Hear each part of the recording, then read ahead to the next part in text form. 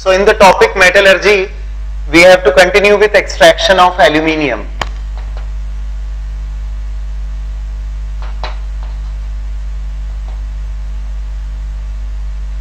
Extraction of aluminium.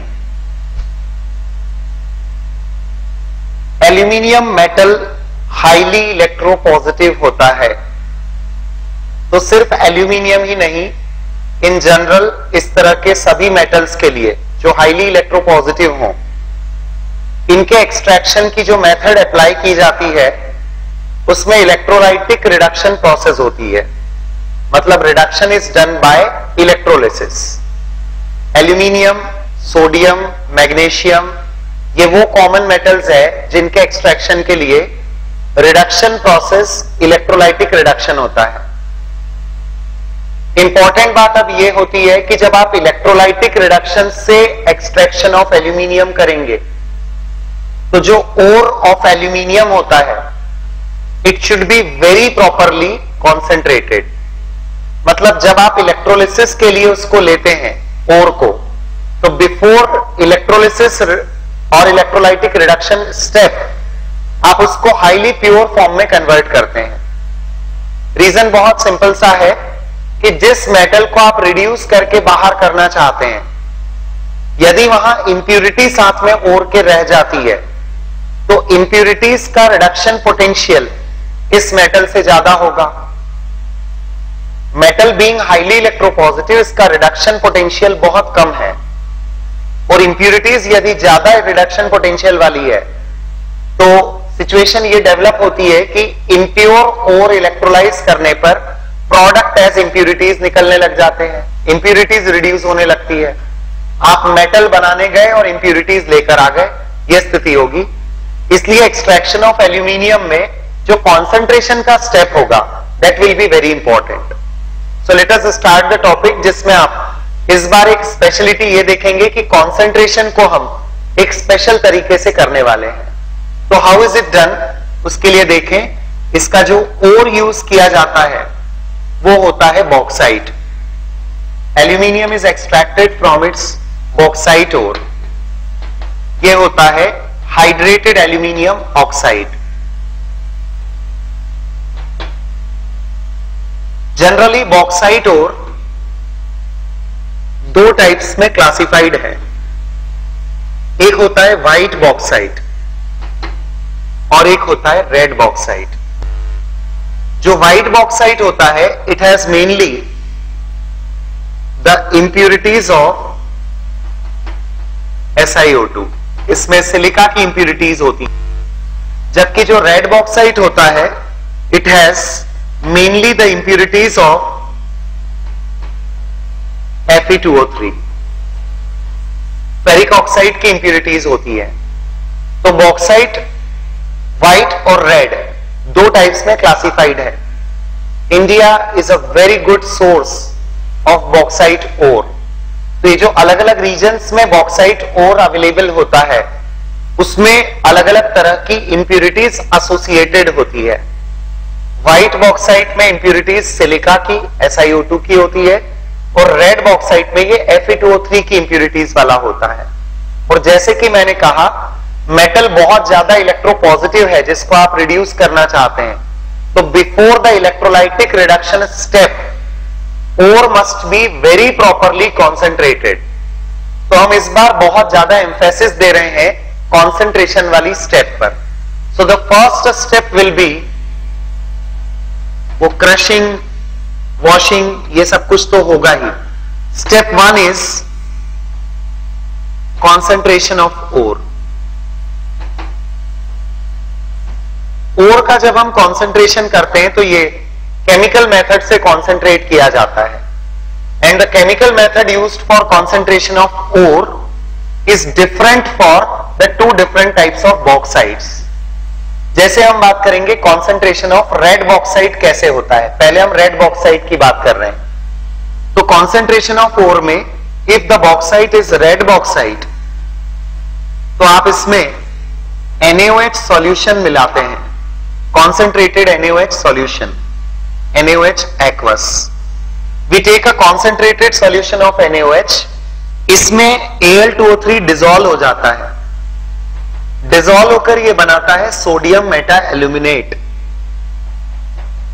this is a soluble substance simple सा concept ये लग रहा है कि NaOH में Al2O3 ऑफ़ बॉक्साइड तो डिजोल्व हो रहा है. But impurities of Fe2O3 dissolve नहीं होंगी। इसका रीजन होता है कि एल्यूमिनियम का ऑक्साइड एम्फोटेरिक है। ये NaOH में डिजोल्व होता है due to the formation of salt amphoteric मतलब जो एसिड के साथ भी सॉल्ट बना ले और बेस के साथ भी सॉल्ट बना ले।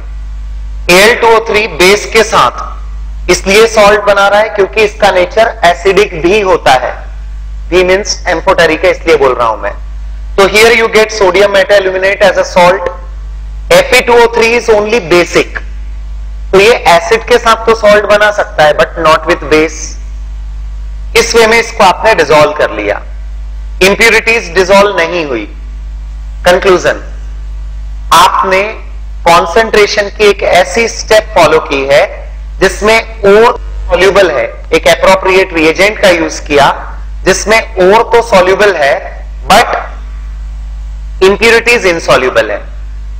केमिकल मेथड ऑफ़ कॉन्सेंट्रेशन जिसमें आप ओर को एक अप्रोप्रिएट रिएजेंट में डिजोल्व करते हैं, वो इंप्यूरिटीज डिजोल्व नहीं होती, उसे कहा जाता है leaching yes this is leaching of ore bauxite का लीचिंग प्रोसेस किया जाता है यूजिंग एक्वस NaOH इसके बाद आप फ़िल्टर करके Fe2O3 और सोडियम मेटा एल्यूमिनेट इनको आप सेपरेट कर लेते हैं। अब आपका जो सॉल्यूशन होता है सोडियम मेटा एल्यूमिनेट का, इसे आप डाइल्यूट करिए। On dilution it start giving the precipitate of aluminium hydroxide it's obtained as a white precipitate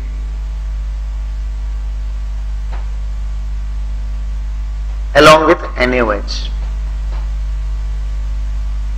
Actually ये प्रोसेस भी रिवर्सिबल है, ये प्रोसेस भी रिवर्सिबल है। फ़र्क ये है कि यहाँ आप कॉन्सेंट्रेटेड NaOH यूज़ करते हो तो ये इसको डिजोल्व कर लेता है, और यहाँ पर आप उसका डाइल्यूशन कर रहे हो। कंटिन्यूस डाइल्यूशन करने से ये प्रेसिपिटेट बनेगा, आप इसको फ़िल्टर करके अलग करते जाए। जब Al2O3 अब फ़िल्टर होकर अलग हो जाएगा इनफैक्ट ALOH थ्राइस तो इसे आप स्ट्रांगली हीट करके Al2O3 के फॉर्म में कन्वर्ट कर सकते हैं by dehydration the Al2O3 now obtain is pure bauxite का Al2O3 आपने डिजोल्व करके सेपरेट कर लिया. अब ये प्योर एल्यूमिना कहलाता है. This is called as alumina तो बॉक्साइट से आपने एल्यूमिना को सेपरेट कर लिया. ये केमिकल मेथड ऑफ़ कॉन्सेंट्रेशन है जिसको आप लीचिंग की कैटेगरी में रखते हैं. ये वाली स्टेप को इस एंटायर प्रोसेस को बेयर्स प्रोसेस के नाम से जाना जाता है। This is called as Bayer's process so we should keep in mind कि बेयर्स प्रोसेस जो होती है, ये बॉक्साइट ओर के कॉन्सेंट्रेशन की मेथड है। और उसमें भी स्पेशली कौन सा बॉक्साइट रेड बॉक्साइट या बॉक्साइट जिसमें इंप्यूरिटीज ऑफ़ Fe2O3 है, उसके लिए Bayer's process of concentration apply किया जाता है।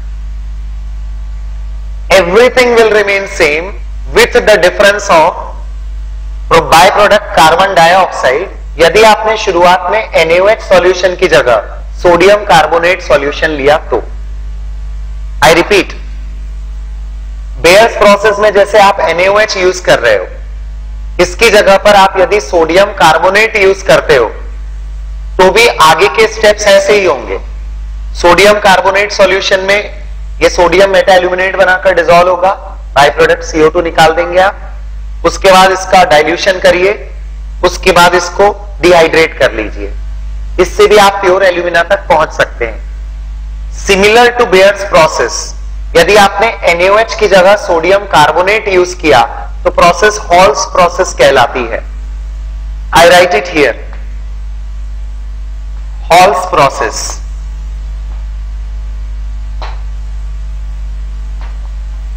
it is similar to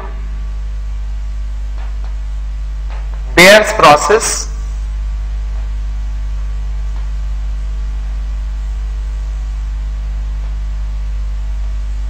With the difference with the difference that Na2CO3 solution is used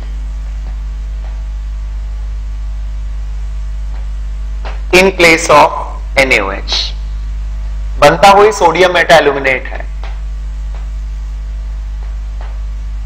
सब कुछ वैसी ही स्टेप्स है। हॉल्स प्रोसेस तब कहेंगे आप जब सोडियम कार्बोनेट सॉल्यूशन का एल्यूमिना को डिजोल्व बॉक्साइड को डिजोल्व करने के लिए यूज़ करते हैं। ये दोनों बातें हो रही थी रेड बॉक्साइड को लेकर। Now if the bauxite is having impurities of SiO2 मतलब व्हाइट बॉक्साइट हो तो कॉन्सेंट्रेशन का क्या तरीका होता है? Just look at this point ये एक दूसरा प्रोसेस है। इसमें आप क्या करते हैं? एल्यूमिनियम के ऑक्साइड के साथ कोक विथ नाइट्रोजन ये यूज़ करते हैं। इसे हीट करते हैं।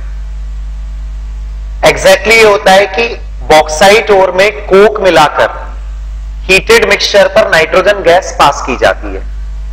बॉक्साइट ओर में कोक मिलाकर हीटेड मिक्सचर पर नाइट्रोजन गैस पास की जाती है, जिसके कारण एल्यूमिनियम नाइट्राइड प्रोडक्ट बनता है अलोंग विथ कार्बन मोनोऑक्साइड एल प्रोडक्ट होता है। ये जो एल्यूमिनियम नाइट्राइड बना है ऑन हाइड्रोलिसिस अब आप इसको सेपरेट करके हाइड्रोलाइज करवा लीजिए। ऑन हाइड्रोलिसिस ये फॉर्म कर लेगा एल्यूमिनियम हाइड्रोक्साइड और लिबरेट करता है अमोनिया। वंस अगेन जो एल्यूमिनियम हाइड्रोक्साइड बना है it is obtained as a white precipitate अब आप इसको डिहाइड्रेट कर लीजिए। Similar to the previous case strong heating से ये डिहाइड्रेट होगा।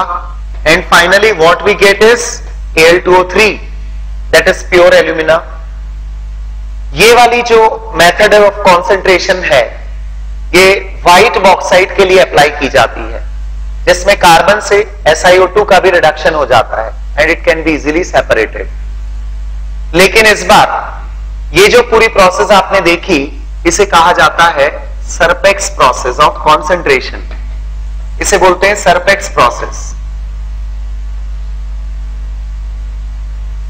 कई बार आप इंपॉर्टेंट क्वेश्चंस में देखेंगे कि सरपेक्स प्रोसेस में वो पूछते हैं आपसे बाय प्रोडक्ट कौन सा होता है? You get an important by product ammonia Serpeck's process का एक इंपॉर्टेंट बाय प्रोडक्ट अमोनिया है यहाँ पर. क्वेश्चन इस फॉर्म में भी पूछा जाता है कि सरपेक्स प्रोसेस किस तरह के बॉक्साइट ओर के लिए कॉन्सेंट्रेशन के लिए अप्लाई की जाती है? इवन उससे भी बेसिक लेवल पर यदि हम चले जाएँ तो ये भी क्वेश्चंस बनते हैं कि सरपेक्स प्रोसेस कौन से मेटल के एक्सट्रैक्शन के लिए होती है? या किस मेटल के एक्सट्रैक्शन से रिलेटेड नाम है ये? इवन इस तरह के भी क्वेश्चंस बनते हैं कि सरपेक्स प्रोसेस एल्यूमिनियम के एक्सट्रैक्शन की कौन सी स्टेप को रिप्रेजेंट करती है? कॉन्सेंट्रेशन रिडक्शन या रिफाइनिंग अभी तो बातें सिर्फ़ first step concentration of ore के लिए हो रही थी। आफ्टर दिस कॉन्सेंट्रेशन आपने देखा होगा कि इससे पहले किसी भी मेटलर्जी में हमने कॉन्सेंट्रेशन वाली स्टेप पर इतना कॉन्सेंट्रेशन नहीं रखा था। इतना हमने फोकस नहीं किया था। उसका रीजन था कि वहाँ पर मेटल्स बहुत ज़्यादा, इतने ज़्यादा एल्यूमिनियम की तरह इलेक्ट्रोपॉजिटिव नहीं थे। So it was not a problem पर जब आप एल्यूमिनियम को एक्सट्रैक्ट करने जा रहे हैं, जिसका अपना रिडक्शन पोटेंशियल बहुत कम है रिडक्शन पोटेंशियल कम होने का मतलब है रिड्यूस होने की टेंडेंसी बहुत कम होना। तो ऐसी सिचुएशन में if any kind of impurities are left वो प्रेफरेंस में रिड्यूस हो जाती हैं। इसलिए ये सारी प्रोसेस हमने करवाई है और इसके बाद आपको pure alumina as a final product मिल चुका है। Whether you follow Bayer's process और यू फॉलो हॉल्स प्रोसेस और you follow Serpeck's process ultimately आप पहुँच चुके हो प्योर एल्यूमिना पर मतलब प्योर एल टू थ्री पर। अब आगे के स्टेप सुनिए। इसके बाद वाली स्टेप तो सिंपल इलेक्ट्रोलिसिस है। Step two will be step two will be the electrolytic reduction of alumina जो एल्यूमिना आपने ऑप्टेन किया है, उसका इलेक्ट्रोलाइटिक रिडक्शन करना है आपको। अब इसमें इलेक्ट्रोलिसिस मेथड को लेकर, एक बात आपको यह ध्यान में रखनी होगी कि आप इलेक्ट्रोलिसिस के लिए जो मिक्सचर लेते हैं, वो क्या होता है?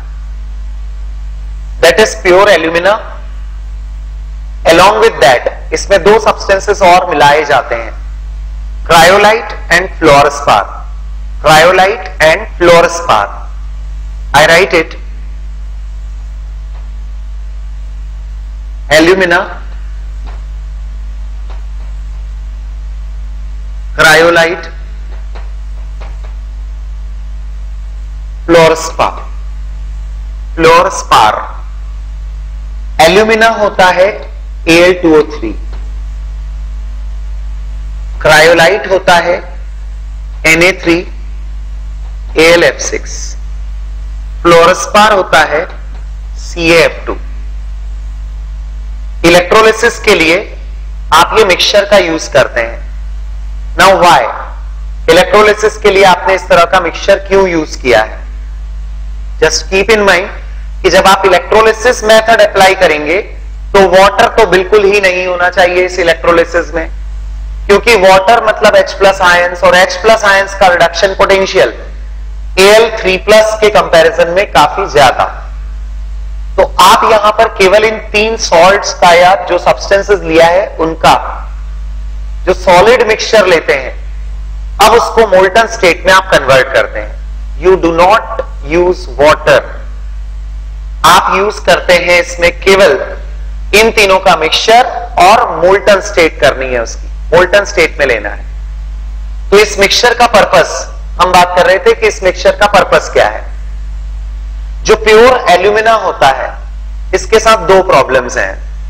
एक तो इसका मेल्टिंग पॉइंट बहुत हाई होता है और दूसरा इसकी कंडक्टिविटी बहुत पुअर होती है। Pure alumina is poor conductor with very high melting point दोनों चीज़ों को इलेक्ट्रोलिसिस में आपको अपोजिट डायरेक्शन में ले जाना पड़ेगा, तभी इलेक्ट्रोलिसिस आप इजीली कर सकते हैं। दोनों चीज़ें क्या क्या जैसे मैंने कहा कि एक तो एल्यूमिना का मेल्टिंग पॉइंट बहुत ज़्यादा है तो एक रिक्वायरमेंट होती है मेल्टिंग पॉइंट को डिक्रीज करना। मेल्टिंग पॉइंट डिक्रीज करने के लिए ऐड किया जाता है फ्लोरस्पार फ़ंक्शंस याद रखना। कई बार एक्सक्लूसिवली पूछ लिए जाते हैं कि इसका फ़ंक्शन क्या है। तो fluorspar is use to decrease the melting point of pure alumina जो बहुत हाई होता है, उसको डिक्रीज कर देता है। Now cryolite increases the conductivity of alumina जो प्योर स्टेट में बहुत कम कंडक्टिंग होता है। तो इलेक्ट्रोलिसिस अब आपकी कुछ सूटेबल एनर्जी कंडीशंस में एक सूटेबल टेम्परेचर पर पॉसिबल हो सकता है। सूटेबल फिर भी यहाँ पर करीब थाउज़ेंड डिग्री सेल्सियस टेम्परेचर पे ये इलेक्ट्रोलिसिस करवाना होता है। So even that particular temperature pure alumina लेते तो उतने टेम्परेचर पे भी ये मेल्ट नहीं होता। That is why you have taken this mixture तो इस मिक्सचर के फॉर्म में इसकी कंडक्टिविटी भी बढ़ गई।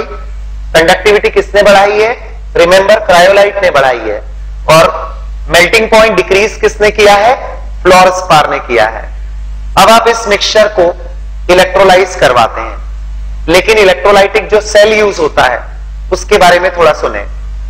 इस सेल के अंदर आप जो दो इलेक्ट्रोड्स का यूज़ करते हैं, वो बने होते हैं ग्रेफाइट के। ग्रेफाइट मतलब carbon in its crystalline allotropic form, जो कंडक्टिंग होता है। नेचुरली इलेक्ट्रोड्स तो कंडक्टिंग मटेरियल के ही होंगे, पर कार्बन ले रहे हो आप in the form of graphite तो दोनों इलेक्ट्रोड्स क्या है? ग्रेफाइट के ही फॉर्म में है। पर कैसे यूज़ होते हैं? एक पूरा ग्रेफाइट का सेल ही बना होता है। मतलब जो कंटेनर की वॉल्स होती हैं, वही ग्रेफाइट की बनी होती हैं। और दूसरा कुछ ग्रेफाइट की रॉड्स उस कंटेनर के अंदर सस्पेंडेड होती हैं। तो पूरा कंस्ट्रक्शन एक बार और सुने। ग्रेफाइट का कंटेनर बना हुआ है और ग्रेफाइट की उसी में रॉड्स सस्पेंडेड है। जो पूरा कंटेनर है, वो कैथोड के फॉर्म में काम करेगा। और जो रॉड्स होती है, वो एनोड के फॉर्म में काम करेगी।